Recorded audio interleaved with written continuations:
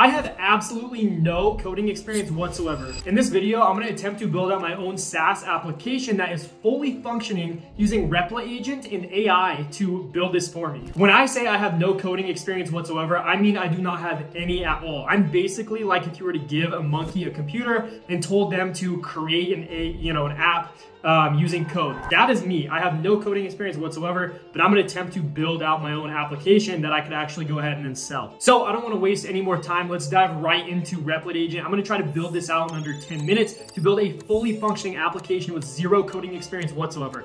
Let's go ahead and start. All right, so we're now inside of Replit. What we're gonna do is we're actually gonna come to um, create with Replit Agent, and this is where we're actually gonna begin building our software. So for this software, I'm basically gonna be building a dashboard where I can see all my posts across my Instagram, my YouTube, and all my different social channels so I can have it in one space. So this is a very, very basic software and application idea, but I wanna see if I'm able to do this in a short amount of time. Create for me an application that posts that combines posts on my YouTube and Instagram. I want an app that can showcase all of my posts in one place. Let's start building this and then see what it actually spits out for us. All right, so it actually proposed to me a plan on what it's gonna build for me. So you can see here, here's the plan. I've created a plan for a web application that combines your YouTube and Instagram posts into a single feed. The app will use Flask for the backend and vanilla JavaScript for the front end. I don't know really what, I, I know what JavaScript is, but I don't know what Flask is or vanilla is.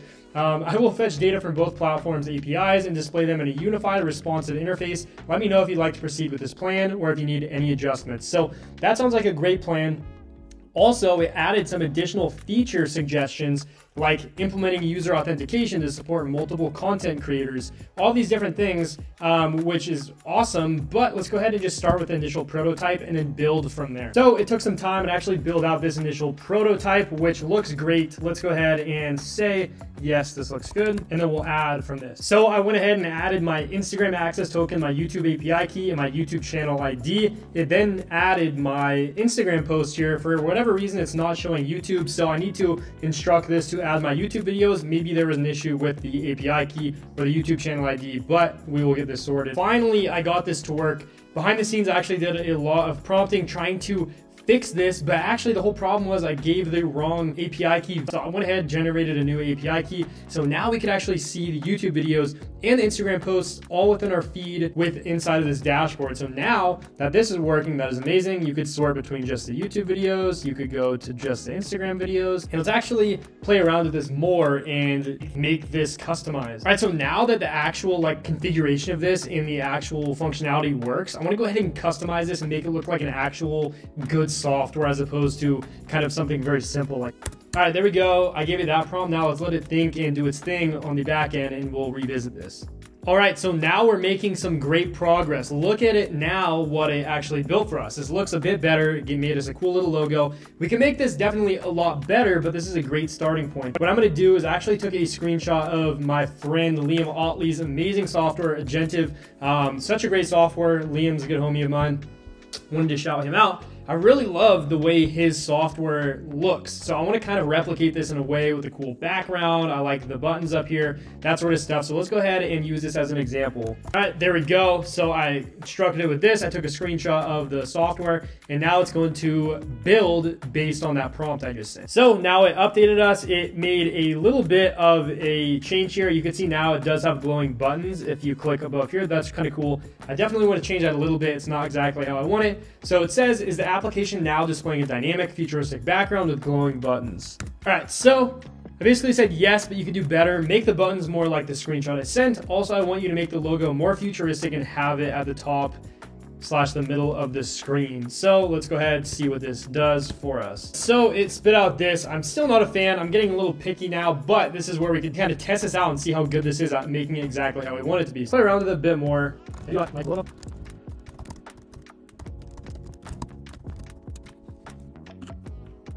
Still not a huge fan of the logo. I don't know why it's adding this squiggly line here. I'm going to play around with it a bit more just to make this as perfect as possible and then maybe add a couple more features. Honestly, this looks really good now. Um, I actually had another idea for what I could add here for just kind of an additional feature to see what it could do. I'm gonna ask it to add a notes part of this application so that way I could jot down any kind of ideas I have for new content and it stores that inside of a database or with inside of a tab inside of our application. So let me go ahead and make that now. All right, so I want you to add a notes feature where I can make notes for content ideas. I also want you to add a feature inside of the notes that make me a simple outline of the video with a simple note. Did indeed add a notes tab here, which you can see you could add no title, you could add no content, but it looks a bit janky. We need to fix this. So I'm gonna tell it to match the uh, kind of interface of the rest of the platform.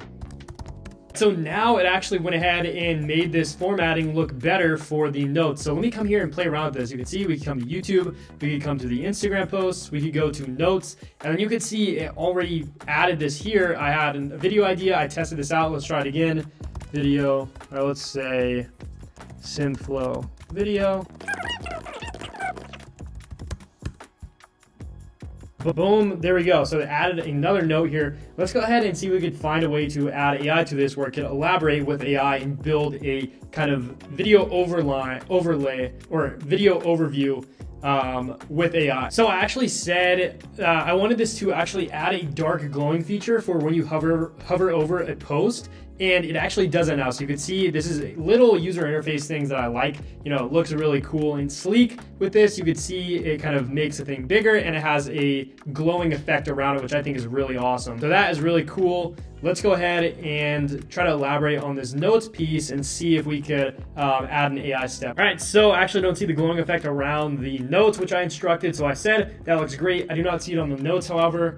Um, I, and then I also said, I want you to add an AI step to the notes. When a new note is posted, use AI to give an idea of a video outline, include it in the note that is saved. So I'd love to be able to click on this and see like an AI, AI elaborating on the idea I had. So I just instructed it to add the AI step and let's go ahead and see if this works. So can you check if the notes function is, the notes feature is working as expected? Let's say, call this Replit video, video where I use Replit agent to build a fully functioning app. All right, let's add this and then see. All right, so I actually went ahead and told this to use ChatGPT to give an idea of a video outline for all the notes that are added here. So um, it actually went ahead and asked me for my OpenAI API key. So I just plugged that in and it's currently thinking, let's see if it actually could come up with this, because if it could do this, this is absolutely awesome. Honestly, I don't have much confidence that it can do it. I think it's a bit complicated, um, but let's see. If this, if it pulls this off, this is absolutely gonna blow my mind. All right, so I tried playing around with this to try to get the AI step to work to add the elaboration to these notes I had. For whatever reason, I can't get it to work. I think it's a little bit too complex and I'm not technical enough to figure it out. But honestly, we've built out an awesome, very simple app. This is exactly what I was looking for. I wasn't even thinking about adding the note idea until I was in here building this. I had the idea. So what I want to do, I actually want to ask our Replit agent if it has any other ideas to add to this software. Um, and then after that, I think this might be, I might call it and just leave it at this. But let me ask. All right, so I basically just said, do you have any cool ideas to add to the app? Let's let this think and come up with something. And then um, hopefully it gives us some cool ideas. Maybe we'll implement it, implement it and then go from there. This is actually what it gave us. It gave us a content calendar here. Um, I'm not sure necessarily how it functions. I'm probably gonna need to add the functionality behind it, but the user interface looks cool. Let me go ahead and add a new note. Let's just say video idea for the, all right, so I added the note here, but it didn't add it to my content calendar. So let me go ahead and try to figure out what I want to do with the content calendar. All right, so I'm basically just saying, can you add the notes to the content calendar if there's a date attached to the notes? So since I put, you know, Friday the 20th here, it should throw this on the content calendar. Let me see if I could actually do this. It's a bit complex of a task. I'd be surprised if it can do it. All right, so I tried to configure the calendar to be able to add these notes to it. However, I couldn't get it to work. So I decided to just remove that feature because it's not necessarily necessary. We have a fully functioning app called Socialfy. It has all of my YouTube videos here. We can go ahead and click the YouTube video. It brings us straight there. Um, it has my Instagram posts as well, so I could see all of my social posts in one spot, categorized by YouTube or Instagram. And then we could come in and add any contact content notes inside of here. We added some cool animations. I mean, this platform looks honestly pretty decent for somebody that has never coded ever in their life. This is the final product. I'm really, really happy with this. In total, this probably took me about 30 minutes to do. I kind of skipped through in this video the back end. When you prompt something, sometimes it take 10 to 20 minutes to do it in the back end, which makes sense because it's got to do full coding and stuff. This was a really simple process with a couple prompts to build a fully functioning application that ties into APIs such as YouTube and Instagram like this. So guys, what do you think of this? I'm gonna be making a lot more videos like this, building custom software from nothing with AI, with no coding experience. So make sure to subscribe, leave a like, leave a comment so I can know you guys enjoy this type of content. I appreciate you guys tuning in and I will see you guys in the next one where we're building another cool web app with AI. See you guys.